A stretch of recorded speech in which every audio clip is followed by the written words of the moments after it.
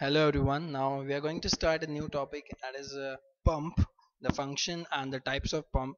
So reciprocating and the centrifugal pump, which is a part of our syllabus. So we'll be discussing this in detail. So pump is a device or machine which is used for raising or driving the compressing fluid or gas by means of piston and the cylinder or the piston or the plunger arrangement or we can have the same function by using a rotating vents so pump a device which will raise or which will drive the fluids or the gases so classifications of the pumps are based on as a reciprocating as well as a centrifugal pump which is a part of our syllabus the discussion in this lecture.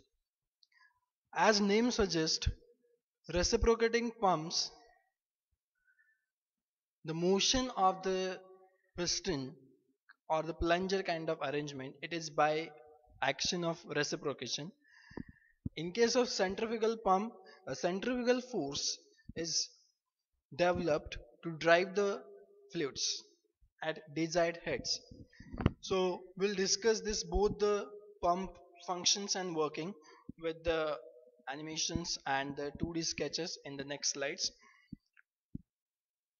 so reciprocating pump is basically a similar kind of device as internal combustion engine.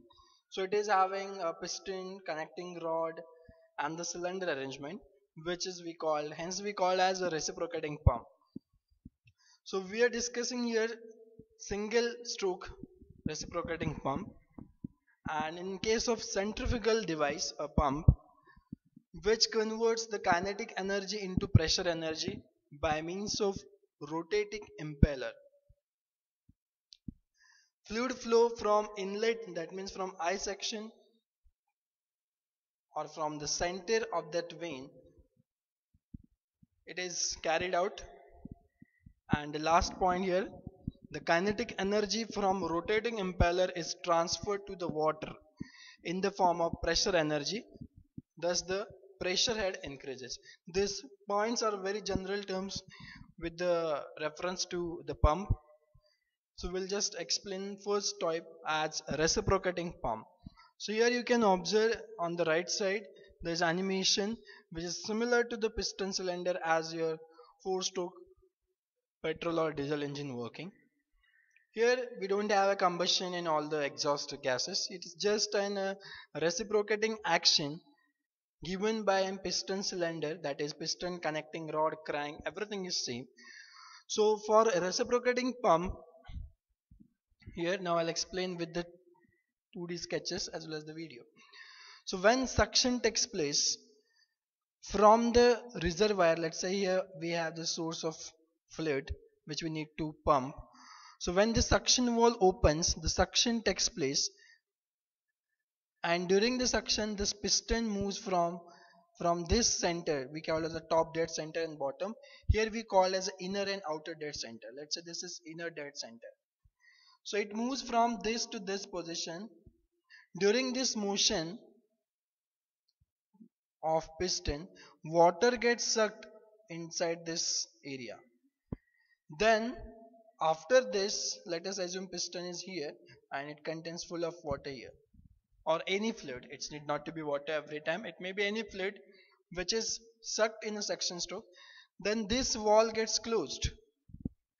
And when again that piston moves from this outer dead center to inner dead center it will push it will push this water. And because of the pressure energy of that fluid this discharge valve gets opened and water is delivered at high head or at desired pressure and that's the working of reciprocating pump. Same you need to draw this schematic sketch for exam point of view. Piston cylinder arrangement here mentioned. The piston positions you can see. In suction stroke this valve gets open piston moves from inner to outer dead center. Then this valve gets closed during the another delivery discharge stroke that water is delivered at high level at desired head that is pressure head. So height from the sump is called as a suction head and from this position to the discharge point this is called as a delivery head. So this is a working of a reciprocating pump. So yes you can again summarize here with this video suction and discharge. Only the two steps as a working of reciprocating pump. Next type is centrifugal pump. So the basic function of pump remains same to supply the water at high head with desired pressure and velocity. So in this video you can animation you can observe that waters or the fluid it's, it's it is starting from at the center that is mentioned as a fluid inlet and that bubbles or that actually the flow of fluid it is initiating from the center and you'll observe the motion of the two circles. Basically they are not concentric. Guide vanes guides the motion of that fluid. Impeller there is actually the suction takes place and finally at desired pressure and velocity that fluid is discharged. So now we'll discuss this as working. So here at the we call as eye, eye of the impeller. Here the negative pressure takes place that we call the suction. So let us assume here we have a sump this is a sump inlet pipe and here we have the source of let's say water so suction takes place. So there is negative pressure created at the eye of the impeller which sucks the water from the sump or from the reservoir. That water is lifted that is the suction takes place and because of the shape of this diffuser casing and the impeller that water is guided and allowed to discharge at the design or the required height that we call the desired pressure head as well as desired velocity head. So basically this centrifugal action between the eye of the impeller and the diffuser casing diffuser casing which provides the pumping action. Hence the name given is a centrifugal pump. So while drawing the diagram remember one thing this impeller as well as this shape diffuser they are not concentric. This area is gradually increasing so that we can provide this discharge at desired pressure so you can observe this diagram on this left side. Here we have sections at eye of the impeller at the center. This is the suction takes place at the center from suction side. And this continuously increasing cross section area. Here in this 2D case you can easily observe the difference. The water is discharged because of centrifugal action. So you need to explain suction at the eye of impeller and the centrifugal action does the pumping action so this is the working of centrifugal pump and the 2D sketch we need to draw in exam. I hope it is clear about the pump, the basic function, classification as reciprocating centrifugal and their working. The next along with the pump another very important is compressor. Again this uh, constructions are more or less similar to the engine so reciprocating compressors, they are positive displacement machine. So basic function of compressor is to compress the air. We are having air compressor. So surrounding air is sucked in a suction stroke which is compressed. After compression, pressure as well as temperature of that air increases which we supply to the receiver. So the function is to compress the air. This is a 2D sketch which you can draw in exam. For understanding, I'll explain with this video. So the diagram, this animation is similar to your 4-stroke or 2-stroke engine. But it's not basically engine, it's a compressor. It's a power absorbing device. so there are two strokes you can observe the blue color is inlet and the red color is like outlet only two stroke one is suction another is discharge so for reciprocating air compressor in a suction stroke this valve opens. That is suction valve. Surrounding air is sucked inside a cylinder. Suction valve gets open.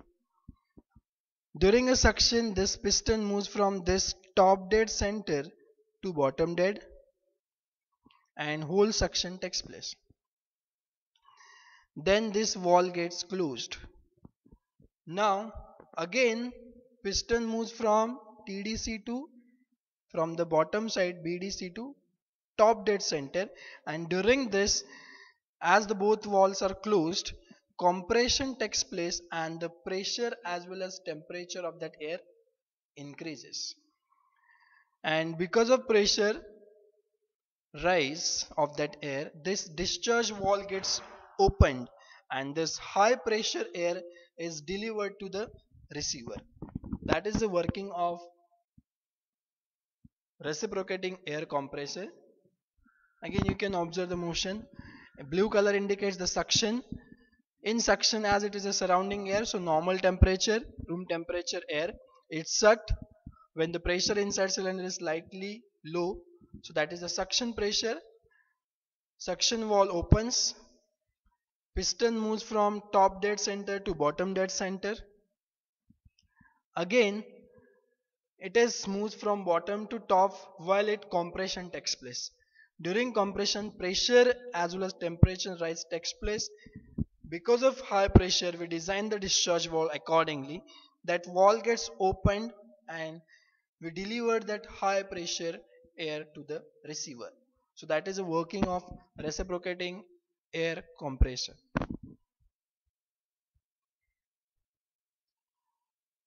The next part is refrigeration and air conditioning. So this is very important. We know that in day-to-day -day life you might have heard about refrigerator as well as air conditioning that is AC vapor compression refrigeration called as a VCR cycle. The it is a device refrigerator is a device which transfer the heat from low to high with the help of input as a work supplied. So we know this thing from thermodynamics. There are different refrigerants are used as gas which flows inside the closed system as a cycle.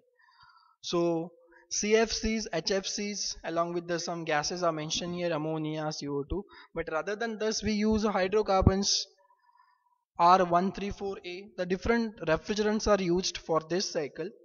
It consists of four major parts compressor, condenser, expansion valve and the evaporator. Receiver is a small part which receives as a it acts as a reservoir. So we'll just say the major parts are only four compressor condenser expansion valve and evaporator. This is a schematic diagram of VCR vapor compression cycle how refrigeration takes place. So we always start with compressor. So let's say first point which I want to discuss is point 1 before compression I'll say this is before compression. This is a compressor as a device which compresses. So you can just show either circle or this sketch. Then I, it is having a condenser expansion valve and evaporator as a fridge very important. So compresses basic as it is a gas let us say we are talking about a refrigerant. One gas is flowing inside the cycle. So compressor compresses that gas after compression at point 2 let us say this is point 1 before compression after compression. Pressure as well as temperature both increases because we know that after compression pressure and temperature increases for refrigerant. In condenser that temperature which is raised that we don't want so that we need to reduce. So in the condenser that heat is rejected. So we say q rejected to reduce the temperature. Pressure remains constant for condensation. So we say we get at point 3 after condensation pressure is high because it is high pressure after compression but temperature is slightly reduced. Now very important heart of this device adds expansion valve adds capillary tube many times.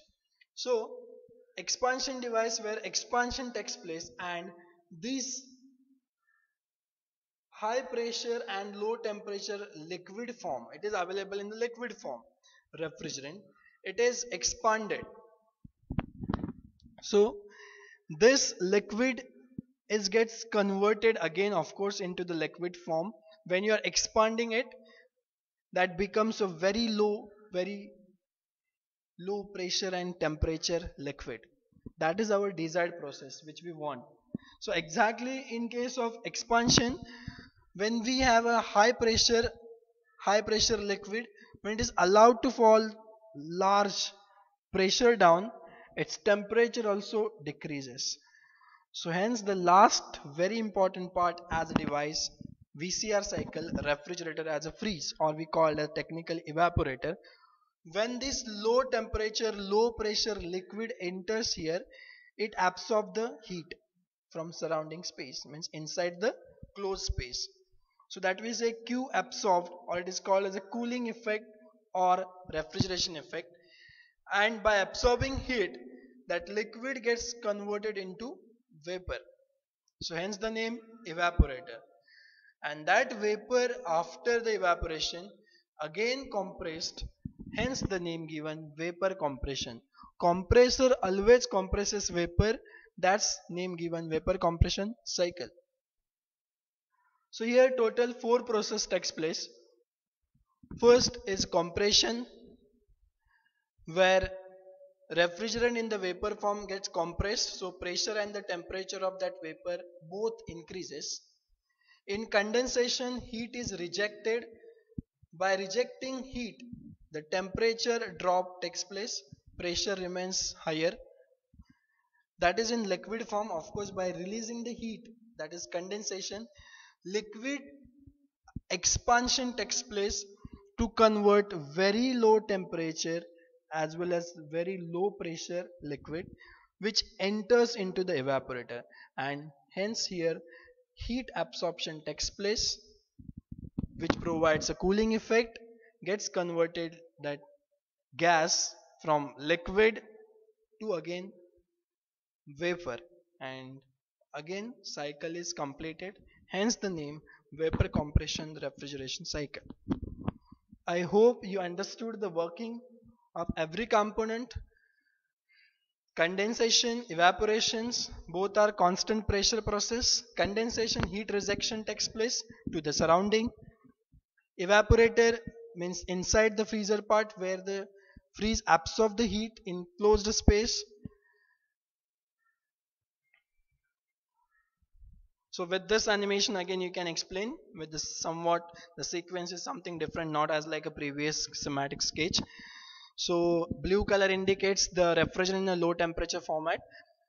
This is indicated as orange color is a high temperature after compression.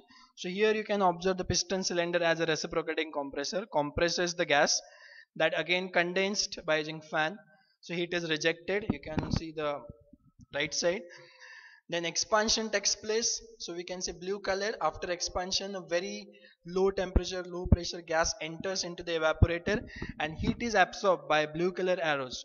So that's uh, again four major components to understand a vapor compression refrigeration cycle. The applications are domestic refrigerator as well as air conditioner AC so all the ACs and freeze working on the basic cycle of VCR COP for this is coefficient of performance desired effect about work supplied. So we supply work to the compressor that is our input. Output is cooling effect in the evaporator. So heat absorbed divided by W that is the COP formula for this cycle. Again the same is household refrigerator. You can explain the same, same previous diagrams for this. You need not draw any, anything else. Window air conditioner it works on the same VCR cycle vapor compression refrigeration. You need to just know about what are the different component. In case of window air conditioner some part that is 50% part is kept outside the window which is exposed to the surrounding and the part of evaporator it is inside the room. Air conditioning is conditioning the air controlling the quality of air that is velocity temperature humidity whereas refrigeration is maintaining the low temperature with respect to surrounding refrigeration is expressed in terms of tons of refrigeration that is capital TR that TR indicates tons of refrigeration that is 1 TR indicates capacity to freeze 1 ton of water from and at 0 degree Celsius in 24 hours. So 1 TR, 1 TR is nothing but capacity to freeze 1 ton of water in short. For window air conditioner again the four components are same additional to this we have one more device called as fan and the blower which is mounted on the same shaft. So evaporator side is placed inside the room whereas condenser side is placed outside the room.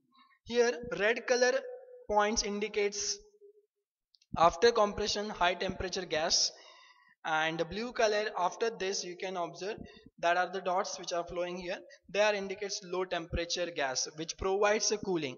So conditioning air AC that simply means conditioning controlling the quality of air as humidity temperature or the volume flow rate of air in enclosed space the unit for this is also TR you might have heard about ACs are available in the capacity of tons of refrigeration.